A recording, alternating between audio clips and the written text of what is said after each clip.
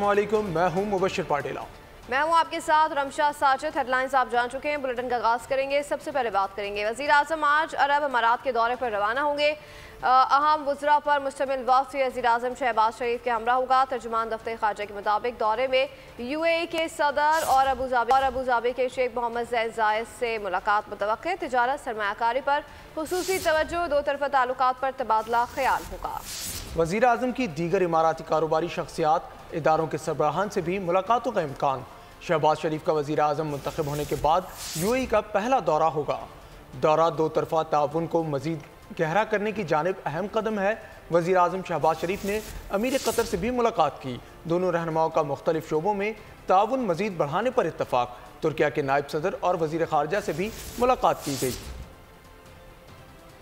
Update कर रहे हैं आपको इस हवाले से। वजी अजम आज अरब अमारात के दौरे पर रवाना होंगे। अहम वजरा पर मुश्तमिल वक्त भी वजी अजम शहबाज शरीफ के हमरा होगा। तर्जुबान दफ्तर खारजा के मुताबिक दौरे में यू ए के सदर और अबूजाबी के शेख मोहम्मद बिन जायद से मुलाकात मुतव तजारत सरमाकारी पर खसूसी तवज्जो, दो तरफा ताल्लुक पर तबादला ख्याल होगा। वजी अजम की दीगर अमाराती कारोबारी शख्सियात इदारों के सरबराहान से भी मुलाकातों का इम्कान। शहबाज शरीफ का वजी मुंतखब होने के बाद ये पहला सरकारी दौरा होगा। पार्लियामेंट की अहमियत ख़त्म हो रही है। जमहूरियत अपना मुकदमा हार रही है। मौलाना फजल रहमान की अपोजिशन जमातों के वफद से मुलाकात के बाद बातचीत। कहा पी टी आई से कोई इख्तलाफ कोई इख्तलाफ नहीं। हमारा मौकफ एक है। मिलकर आगे बढ़ेंगे, क्योंकि अपोजिशन का मुश्तर मौक़ होना चाहिए। मौलाना फजलरहमान ने कहा कि अख्तलाफात ख़त्म नहीं कर सकते तो रवैया नरम कर सकते हैं। मौलाना फजलरहमान ने कहा कि 10 साल से ऑपरेशन जारी है, लेकिन दहशत गर्दी कम नहीं हो रही।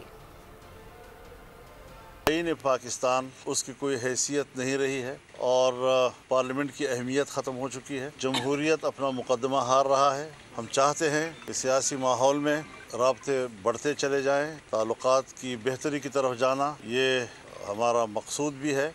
मुश्तरक मौक़ लेने के लिए एक सियासी माहौल भी मौजूद रहे। तो इस तस्वुर से हमारा कोई इख्तलाफ नहीं है। जो भी हमारे मुश्तरक हैं, पार्लियामेंट के अंदर हमारे उस पर आवाज़ एक होनी चाहिए और मुल्क के अंदर भी एक खुशगवार सियासी माहौल की तरफ़ हमें बढ़ना चाहिए। ज़ाहिर है, हम अगर इख्तलाफ नहीं ख़त्म कर सकते तो इख्तलाफात को नरम कर सकते हैं, रवैयों को नरम कर सकते हैं। दहशत गर्दी के ख़िलाफ़ ऑपरेशन गुजशत दस पंद्रह सालों से चल रहा है, लेकिन मरद बढ़ता गया जू जूं दवा का। उसमें दुगना इजाफा नहीं, बल्कि दसियों गुना इजाफा हुआ है। अब ये क्या हमत अमली है कि बड़े बुलंदबांग दावों के बावजूद वो आम आदमी को अमन फराहम नहीं कर सके? पाकिस्तान में आइन नाम की कोई चीज़ ही नहीं। गैर जमहूरी ताकतें इकट्ठी होकर इकतदार में बैठी हैं। पोजिशन लीडर उमर आयूब के मौलाना फजल रहमान के साथ न्यूज़ कॉन्फ्रेंस कहा फ्रेंस कहा कि इस्लामाबाद पुलिस रऊफ हसन हमला करने वालों को पकड़ने के बजाय मासूम लोगों को तंग कर रही है। आज भी पी टी आई के दफ्तर पर हमला किया गया। बोले, मौलाना से अच्छी बातचीत हुई, मिलकर तहरीक चलाएँगे। असद कैसर ने कहा, ये जंग किसी को गिराने या लाने की नहीं, हम आइन की बालादस्ती के लिए एक हैं।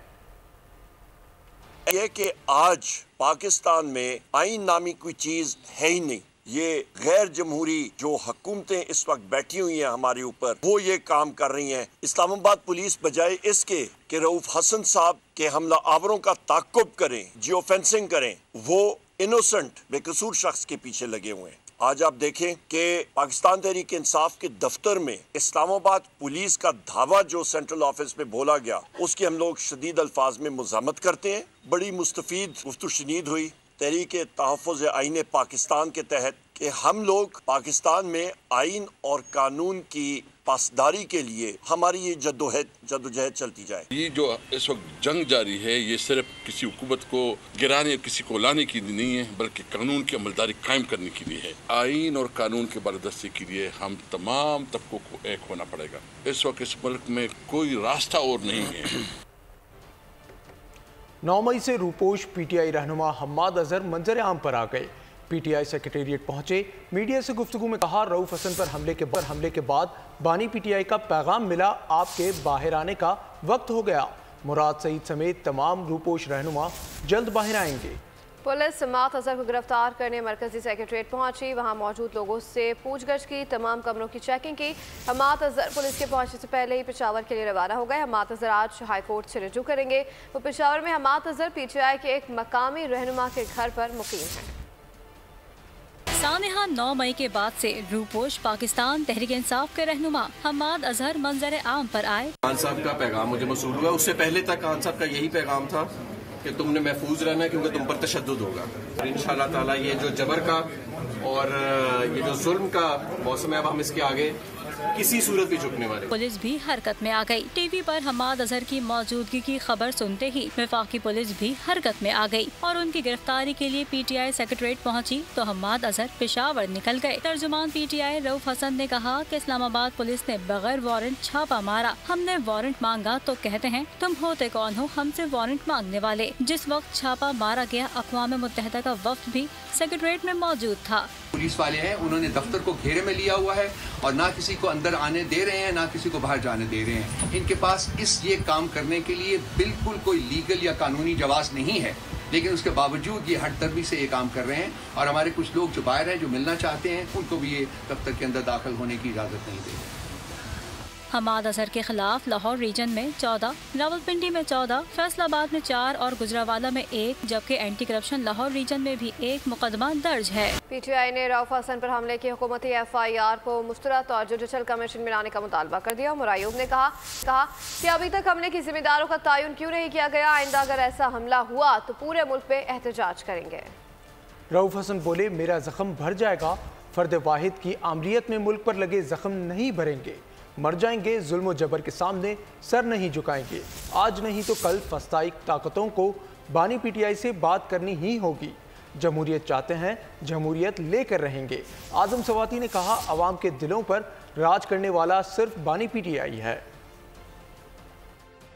एफ़ आई आर लॉन्च की है इस्लामाबाद पुलिस ने, उसको हम लोग रिजेक्ट करते हैं, उसको हम लोग टोटली कंडेम करते हैं, हम डिमांड करते हैं अदलिया से। ये रऊफ हसन साहब का केस, इस पे जुडिशल कमीशन बनना चाहिए। हमारी लीडरशिप पोजीशन में किसी के ऊपर भी इस तरह का हमला हुआ तो हम लोग पूरे मुल्क में पुरअमन एहतजाज का सिलसिला शुरू कर देंगे। बात जो करना चाहता हूँ वो ये है कि ये तो जो जख्म है, ये मायल हो जाएगा। ये जख्म शायद नज़र भी ना आए। लेकिन जो घाव लगाए हैं, शक से बाहर की डिक्टेटरशिप ने, इस मुल्क, इस रियासत की रूह के ऊपर, इस रियासत के लोगों की रूह के ऊपर, वो ऐसे जख्म है, वो ऐसे घाव हैं जो मायल नहीं होंगे। मैं बरमला इजहार करता हूँ। आप मार तो हमें सकते हैं, लेकिन हम आपके सामने झुकेंगे नहीं। आज नहीं तो कल कल नहीं तो परसों। इन्हीं फस्ताई ताकतों को उसी शख्स से बात करनी होगी, जिसके पास रियासत के मुस्तकबिल की कुंजी है और वो अडियाला जेल की कैद कोठी में कायम है। सिर्फ़ और सिर्फ़ अवाम के दिलों पे हुकूमत करने वाला सिर्फ़ एक इमरान खान है और उसके ये सारे सफ़ाई बैठे हुए हैं। मेरे रऊफ साहब पे जो जुल्म हुआ बरबरीत हुई, उनको कत्ल करने के लिए जो गैर कानूनी कदम उठाया गया, मैं उसकी शदीद अल्फाज के अंदर मजम्मत करता हूँ। वफाकी वज़ीर कानून आज़म नजीर तारड़ का कहना है आइन अदालत को ये इख्तियार नहीं देता कि वो गुस्से में जो मर्ज़ी आए जो मर्ज़ी आए कह दे। आइन ने वजी अजम को इस्तना दे रखा है। अदालत को जो कहना है, वो अपने फैसलों में लिखें। जो इदारे मुदाखलत कर रहे हैं, इनके लिए भी आइन कहता है, अपनी हदूद में काम करें। तलाल चौधरी ने कहा कि पाकिस्तानी सियासतदानों पर तोहनी अदालत के केस बनते हैं। जबाबंदी के लिए उन्नीसवीं सदी के हटकंदे इस्तेमाल हो रहे हैं। दुनिया में तोहनी अदालत का कानून ख़त्म हो चुका। फैसल सब्जवारी बोले कि तोहनी अदालत पर एक मुकम्मल जबता अखलाक होना चाहिए। फैसल वावडा ने इंतहाई अहम मसला उठाया है। पार्लिमान और मुकन्ना से ऊपर कुछ नहीं है। फैसल वावडा और मुस्तफ़ा कमाल का ताल्लुक कराची से दोनों रहनुमाओं को तोहनी अदालत के नोटिस आ गए हैं। किसी अदालत को ये इख्तियार नहीं देता कि वो गुस्से में जो उसके दिल में आए वो कह दे। मैं वज़ीर अजम को यहाँ पे बिठा दूँगा। आइन के आर्टिकल 248 में उन्हें इम्यूनिटी लिखी हुई है। ये क्या तरीका है अदालत करने का? आप करें, आप अपने फैसलों के ज़रिए जो हुक्म जारी करना चाहते हैं वो ज़रूर करें। जो इदारे, जो काम कर रहे हैं वो फिर उस दायरा कार में रह के करें। आज भी हम 19वीं सदी के वो सारे हथकंडे सिर्फ़ इसलिए इस्तेमाल करते हैं कि लोग अपनी बात ना कह सकें। आइन बनाने वालों को सजा देंगे तो वकार बुलंद नहीं होगा। आइन तोड़ने वालों को सजा देना। यहाँ जो तोहिन तोहिन का खेल खेला जा रहा है, मेरी गुजारिश ये है, वज़ीर कानून साहब भी हमारी रहनुमाई करेंगे कि इसके भी कोई कवायद और जवाब तय होने चाहिए। तोहिन है क्या? तोहिन किसकी हो सकती है? किस, किसकी हो सकती है? किस तौर हो सकती है? उसमें मैं सजावार किस तरीके से ठहराया जा सकता हूँ? सीनियर खातून सियासतदान यासमीन राशिद की हालत बिगड़ गई, जिन्हें अस्पताल दाखिल कर लिया गया है। सेंट्रल जेल के एमईओ एमईओ के रिपोर्ट के में डॉक्टर यासमीन राशिद की सेहत को तशवीशनाक करार दिया गया। यासमीन राशिद गुजशत रोज़ से कुछ खा पी नहीं सकी हैं, जबकि उन्होंने वजह से यासमीन राशिद के जिसम में पानी की कमी हो चुकी है। खबर शामिल करेंगे कराची में इंटरमीडिएट इम्तहान की तारीख फिर तब्दील। आला सानवी तालीमी बोर्ड के तहत होने वाले पर्चे अट्ठाईस मई की बजाय अब यकम जून से होंगे। शदीद गर्मी की वजह से मैट्रिक इम्तहान के मुलतवी शुदा पर्चे अट्ठाईस मई से होंगे। इंटर के इम्तहान के लिए इक्कीस ऐसे हाई सेकेंडरी स्कूल्स को भी इम्तहानी मराकज़ बनाया गया है, जहाँ मैट्रिक के इम्तहान भी होना है, जिसके बायस इंटरमीडिएट के सालाना इम्तहान की तारीख आगे बढ़ाने का फैसला किया गया है। गर्मी ने अपना रंग दिखाना है। असल गर्मी ने तो अभी आना है। कराची समेत सिंध और बलूचिस्तान में आइंदा हफ़्ते से दर्जा हरारत 40 से 45 डिग्री तक जाएगा। कहीं कहीं पारा 45 से उनचास डिग्री सेंटीग्रेड तक भी जाने का इम्कान है। बलूचिस्तान के जनूबी इलाके ओथल, विंदर, बेला और खुशदार रीजन में दर्जा हरारत 45 से उनचास डिग्री सेंटीग्रेड तक भी जा सकता है। बिजली फरामी में टेक्निकी खराबी। पार्लियामेंट हाउस की भी बत्ती गुल हो गई। राहदारियाँ और दफातर अंधेरे में डूब गए। जनरेटर चलाकर बिजली बहाल की गई। कराची के इलाके लियाताबाद में बिजली की अदम फरहमी के खिलाफ एहतजाज। एहतजाज के बायस सहराब गुट से लियाताबाद आने वाली सड़क मुकम्मल बंद। मुजाहरीन कहते हैं रोज़ाना की बुनियाद पर कई कई घंटे लोड शेडिंग की जा रही है। लाख्ताबाद में रोज़ाना 16 से 18 घंटे की लोड शेडिंग की जाती है। लोड शेडिंग हो रही है ये खत्म करो बस। ठीक है। हमारा को कोई किसी से दुश्मनी नहीं है हमारी किसी से कोई लड़ाई नहीं है। रश से लगाया कि लाइट ने ऐसा अजाब किया हुआ है ज़िंदगी अजाब की एक बजे जाती है और चार बजे लाइट आती है। रात को एक बजे जाती है और फिर रात को चार बजे आती है। फिर सात बजे जाएगी फिर आएगी दस बजे साढ़े दस बजे आती है। फिर दस बजे के बाद जाती है बारह बजे आती है फिर आती है साढ़े तीन बजे। ज़िंदगी आजाब हो गई है ना पानी है ना बिजली है गैस है। छः घंटे लाइट आ रही है ना पानी है ना बिजली है ना नेटवर्क आ रहा है ना कुछ आ रहा है। अब पूरे दिन में जो है ना बच्चों को स्कूल भेजना भी बड़ा मुश्किल हो गया है। जाने सोने का चार चार पाँच बजे लाइट आ रही है फिर दो घंटे एक बात में चली जाती है। सही। पूरे दिन में पूरी रात हो जाती है ये चक्कर के अंदर। पाकिस्तानी आजमीन हज का सऊदी अरब में पहुँचने का सिलसिला जारी है। तर्जुमान वजारत मजहबी उमूर के मुताबिक एक सौ छब्बीस परवासों से इकतीस हज़ार सत्तावन सरकारी आजमी सऊदी अरब पहुँच चुके हैं। आज बारह परवासों के ज़रिए मजीद दो हज़ार चार सौ पचास आजमीन मदीना मुनवरा पहुँचेंगे। प्राइवेट स्कीम के तहत भी दो हज़ार से जायद आजमीन सऊदी अरब पहुँचे हैं। सोलह हज़ार पाँच सौ आजमीन की रियासत जन्ना की जियारत मुकम्मल हो गई।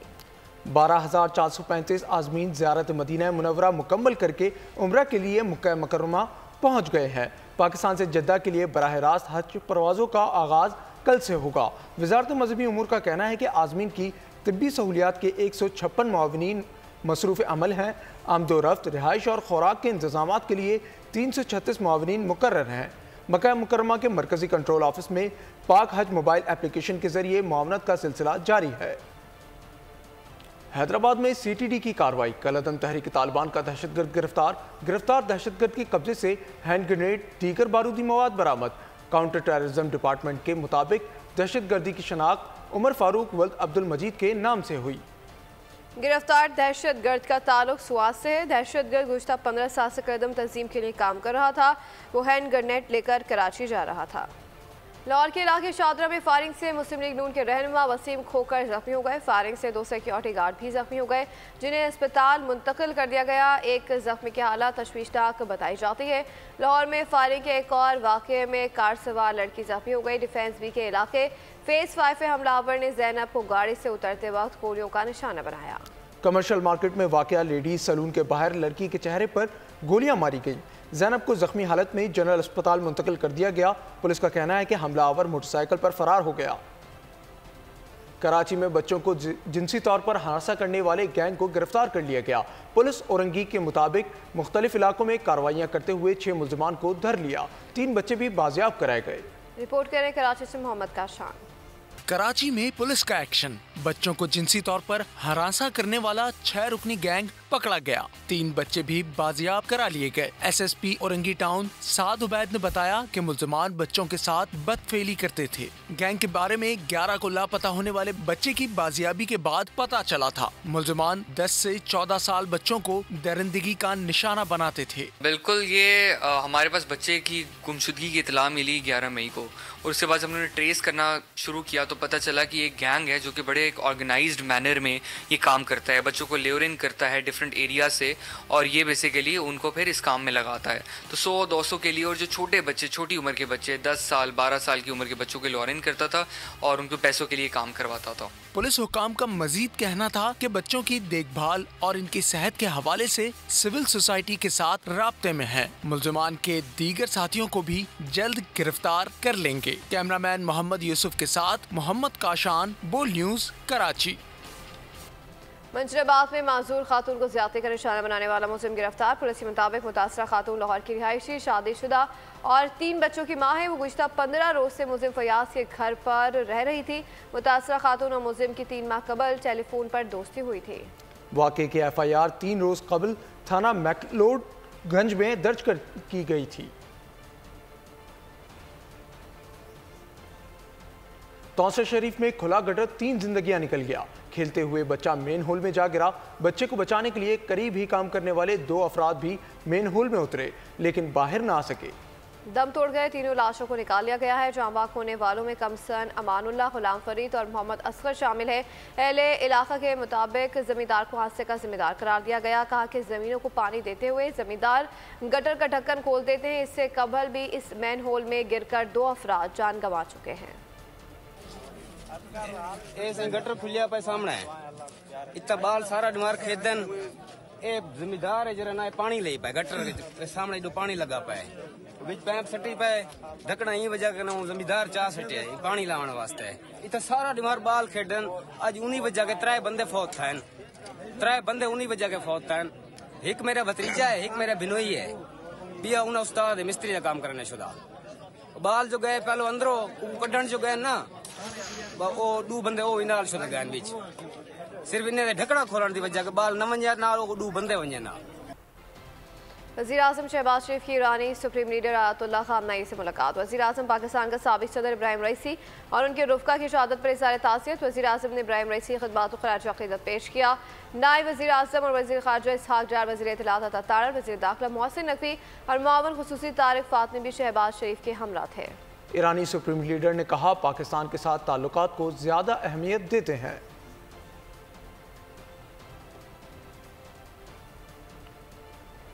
सऊदी वज़ीर खारजा शहजादा फैसल बिन फरहान की जेर क़्यादत वफ्त की तहरान आमद। वफ्त में शाह सलमान के मुशीर और काबीना के रुकन शहजादा मंसूर बिन मुतब शामिल।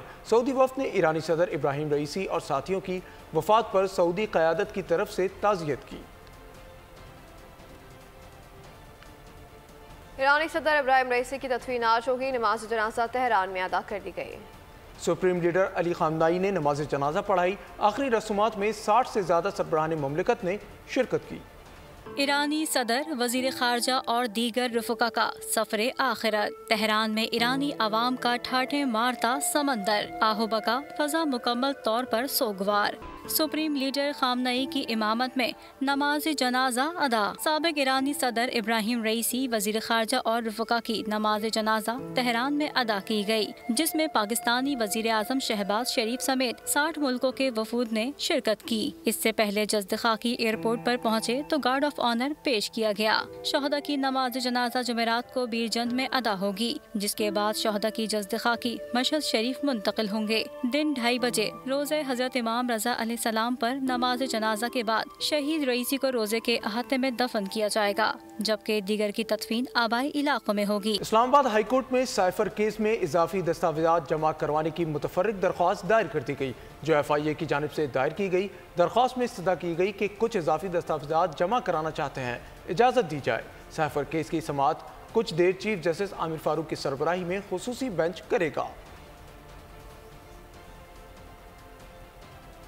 किर्गिस्तान में पाकिस्तानी और दीगर ममालिक के तलबा पर तशद के वाकत वजात खारजा ने तहकीकत के लिए फैक्ट फाइंडिंग कमेटी कायम कर दी एडिशनल सेक्रेटरी मोहम्मद सलीम सरबराह मुकर फैक्ट फाइंडिंग कमेटी फसादात को जन्म देने वाले अवामिल का जायजा लेगी। फसादात के दौरान किर्गिस्तान में पाकिस्तानी मिशन के किरदार का जायजा लिया जाएगा।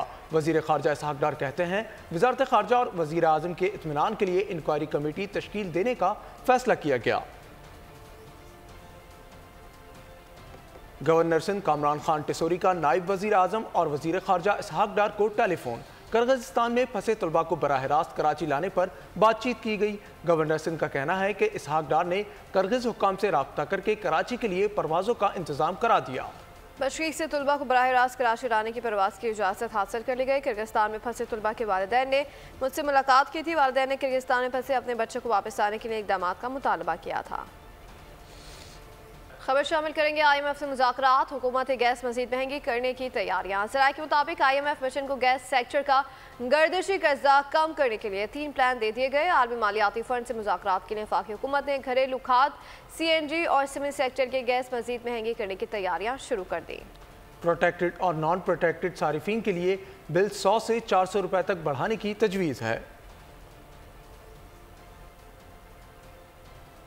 आयरलैंड, नॉर्वे और स्पेन ने फ़लस्तीन को बतौर रियासत तस्लीम कर लिया। नॉर्वे की जानब से फ़लस्तीन को बतौर रियासत तस्लीम करने का सरकारी ऐलान 28 मई को किया जाएगा। वज़ीर अजम नॉर्वे का कहना है कि फ़लस्तीन को बतौर रियासत तस्लीम करने से दो रियासती हल की हिमायत होगी। फ़लस्तीन को एक आज़ाद रियासत का बुनियादी हक हासिल है। रियासत तस्लीम न करने से मशरक वस्ती में अमन नहीं होगा।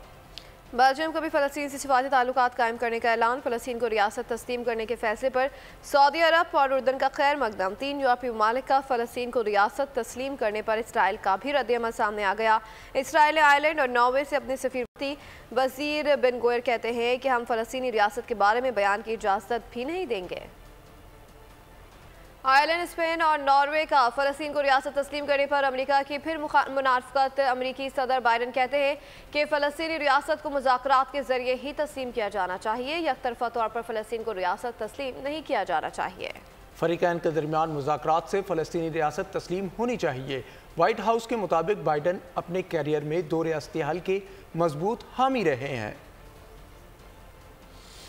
बुलेटिन में आप कुछ खबर शामिल करते हैं। गजा से मुतालिक सरजमीन फ़लस्तीन लहू लहू। गजा में इसराइली काबिज अफवाज की बमबारी को दो सौ उनतीस दिन गुजर गए।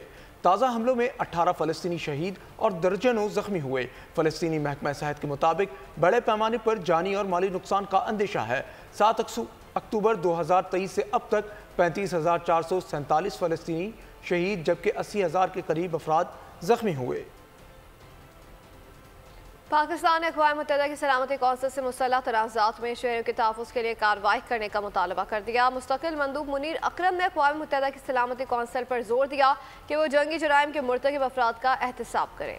अकवा मुतहदा इन्हें हथियारों की फरहमी रोके, इन जराइम की ज़िम्मेदारी रियासतों, अफराद पर सियासी और कानूनी नतज आयद करे। पाकिस्तान ने अकवा मुतहदा के अमन फौजियों की तैनाती समेत गैर मुल्की कब्जे में मुबतला शहरीों के तहफ़ पर ज़ोर दिया। बरतानिया का चार जुलाई को आम इंतबात का ऐलान। बरतानवी वजी अजम ने काबीना से मुशावरत और किंग चार्ल से मुलाकात के बाद ऐलान कर दिया। ऋषि सोनाक कहते हैं, हमने अब तक जो हासिल किया, इस पर मुझे फ़ख्र है। सब कुछ दुरुस्त करने का दावा नहीं कर सकता। मुआरे से काम को खतरे में नहीं डालेंगे। दोबारा कौम का अहतमाद हासिल करने की कोशिश करूँगा।